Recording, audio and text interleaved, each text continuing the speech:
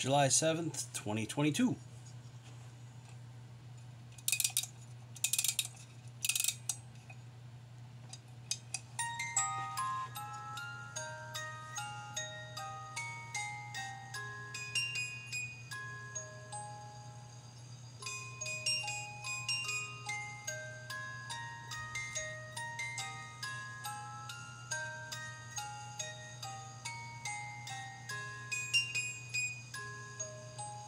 So as you can see, he seems to run fine.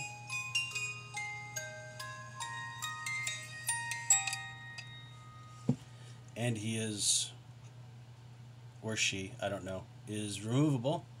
Uh, if you wanted to put like a dab of glue in there and put it back on so it'd be permanent, you could do that once you get it. Until then, what I'm going to do is wrap him up, or her, I don't know, and probably attach him right about him or her about right about here so you know where it's at when you're unwrapping everything. Have a good day.